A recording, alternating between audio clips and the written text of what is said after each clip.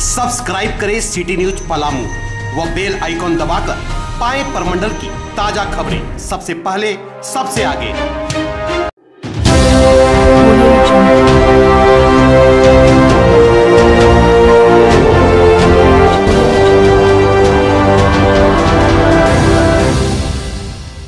कन्नौज ज़िले के छिबरामऊ में नेहरू महाविद्यालय में परिवहन विभाग की तरफ़ से यातायात माह को लेकर कार्यक्रम का आयोजन किया गया। कार्यक्रम में बतौर मुख्य अतिथि के रूप में कन्नौज आरटीओ संजय कुमार झा व क्षेत्राधिकारी शिव कुमार थापा ने शिरकत की। बीते एक नवंबर से शुरू हुए यातायात माह के चलते कन्नौज ज़िले में परिवहन विभाग की तरफ़ से जगह जगह यातायात माह जागरूकता को लेकर कार्यक्रम के आयोजन किए जा रहे हैं, जिसे लेकर छिबरामऊ नगर के नेहरू महाविद्यालय में छात्र छात्राओं के बीच कार्यक्रम का आयोजन किया गया, ताकि यातायात माह के अंतर्गत छात्र व छात्राओं को यातायात के नियम कानूनों से अवगत कराया जा सके व उन्हें जागरूक किया जा सके तथा समाज में उनके द्वारा अन्य लोगों को भी इसके माध्यम से जागरूक किया जा सके।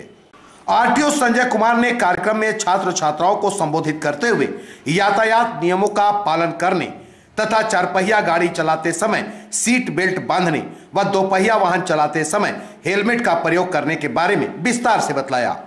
आरटीओ श्री झा ने पत्रकारों से बात करते हुए कहा कि यातायात माह के चलते ज़िले भर में इस तरह के कार्यक्रम का आयोजन लगातार किया जा रहा है तथा सभी को सड़क सुरक्षा संबंधित नियमों की जानकारी व उसे पालन करने के लिए जागरूक किया जा रहा है।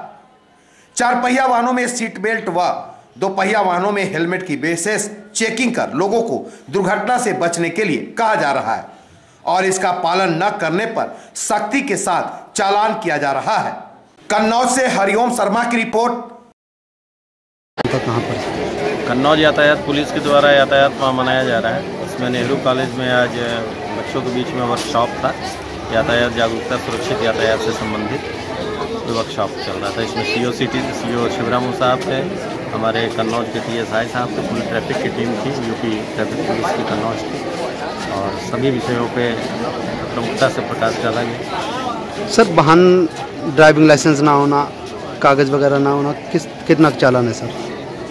चालान तो जैसे हेलमेट नहीं है और सीट बेल्ट नहीं है तो इसका तो बन करके टारगेट आता है। 62 पर अफसर टारगेट है अपने ज़िले में। गाड़ियों की संख्या के हिसाब से निर्धारित किया जाता है। और सप्ताह में दो दिन हेलमेट सीट बेल्ट ड्राइव चलता है जिसको ट्रैफ़िक डायरेक्टरेट मॉनिटर करता है। यूपी पुलिस की ट्रैफ़िक डायरेक्टरेट जिसके हिसाब से हम लोगों को करना रहता है। अभी हमारे मोबाइल फ़ोन पे आ गया है कि बुधवार और शुक्रवार को करना है। सर डग्गा मार वाहन चल रहे हैं उनके खिलाफ किस तरह की कार्रवाई चल रही है? देखिए डग्गा मार वाहन चल रहे हैं तो उसके खिलाफ चालान किया जा रहा है। थानों में जगह की कमी है और उनको खड़ा करने की समस्या है। तो उनका चालान किया जा रहा है और चालान के द्वारा ही उनका प्रशमन किया जा रहा है। सतर्कता सप्ताह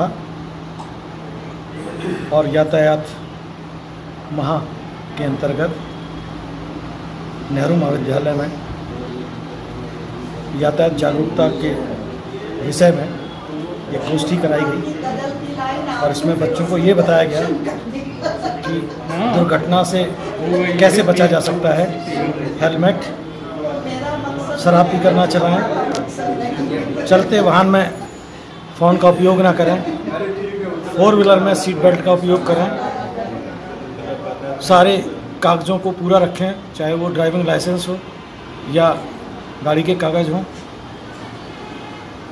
उचित दूरी बना के रखें, गति सीमा में रखें। ये जागरूकता अभियान हमने बच्चों को, ग्रामीण क्षेत्रों के बच्चों को पहुँचाने का प्रयास किया है। बहुत बहुत धन्यवाद। इस प्रोग्राम में कौन कौन लोग आए हुए थे?